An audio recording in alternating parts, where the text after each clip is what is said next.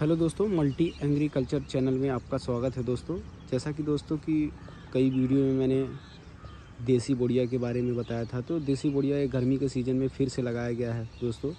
ये बारहों मासी होता है एक तरह से कह सकते हैं आप। तो ये देसी बोड़िया लगाए हैं दोस्तों, देख रहे हैं आप, पौधा भी अच्छा है, स्वस्थ है और कली एकदम अभी फल छोड़ रहा है और कली आप देख रहे हैं, कितना अच्छा कली लगा है और सारे कलियों में फूल लगा हुआ है दोस्तों।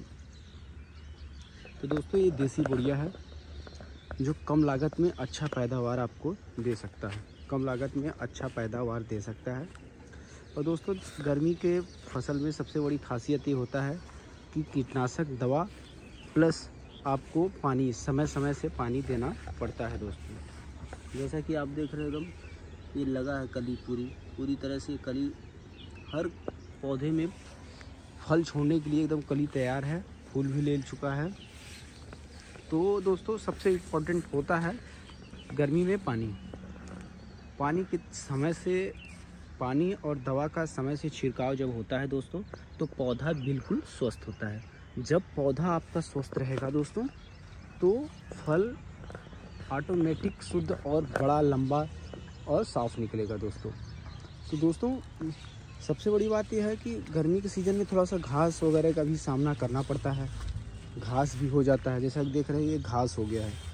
तो दोस्तों, गाँव के लोग घास भी निकाल लेते हैं और हम लोग खुद भी निकालते हैं दोस्तों। आप जैसा कि देख रहे हैं, पूरे खेत में एक समान है, एक साइज़ का है दोस्तों पूरा। ये दस बीसे का खेत है, पूरा लगाया गया है दोस्तों। दस बीसे खेत में पूरी तरह से लगा चुके हैं। और दोस्तों, गर्मी में थोड़ा पानी की समस्याएँ ज़्यादा होती हैं। यहाँ गाँव में बिजलियाँ जल्दी जल्दी कट जाती हैं, बहुत ढेर सारे प्रॉब्लम हो जाते हैं। तो इस दृष्टि से किसानों को कभी कभी नुकसान भी हो जाता है दोस्तों। बट अभी तक ऐसा हुआ नहीं। इस साल, अगली साल तो काफ़ी नुकसान हुआ था दोस्तों हमारा। और इस साल तो बिल्कुल अच्छा रहा है। और देसी पुड़िया दोस्तों ये खासियत ये है कि ये मार्केट में आसानी से बिक जाता है दोस्तों। ये मार्केट में आसानी से बिक जाता है। और लोग आसानी से इसको खरीद, क्योंकि जैसे टेस्टी होता है, मीठा होता है। काफ़ी टेस्टी और काफ़ी मीठा होता है, बहुत ही स्वादिष्ट होता है। तो लोग इसको काफ़ी पसंद करते हैं, बड़े वाले बोड़े से ज़्यादा इसको पसंद करते हैं। और लोगों को अच्छा भी लगता है। तो दोस्तों, अगर आप किसान भाई हैं तो आप भी थोड़ा बहुत वो के ट्राई लें और इस्तेमाल करें, क्योंकि इसका पैदावार बहुत तगड़ा होता है। दोस्तों, दूसरे तीसरे आप इसमें सत्तर किलो, अस्सी किलो तोड़ सकते हैं। और रेट भी अच्छा खासा दोस्तों है, तीस रुपये, चालीस रुपये प्रति किग्रा के हिसाब से मार्केट की वैल्यू है। तो दोस्तों, आप देख रहे हैं पौधा बिल्कुल स्वस्थ है।